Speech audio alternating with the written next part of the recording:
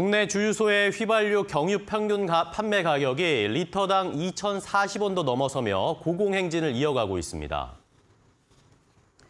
한국석유공사 유가정보 사이트 오피넷에 따르면 어제 오후 4시 기준 전국 경유 평균 판매 가격은 전날보다 6원 47전 오른 리터당 2,042원 99전을 나타내 한 달 가까이 날마다 최고가 기록을 새로 쓰고 있습니다. 휘발유 판매 가격은 전날보다 5원 15전 오른 2,047원 19전을 기록했습니다.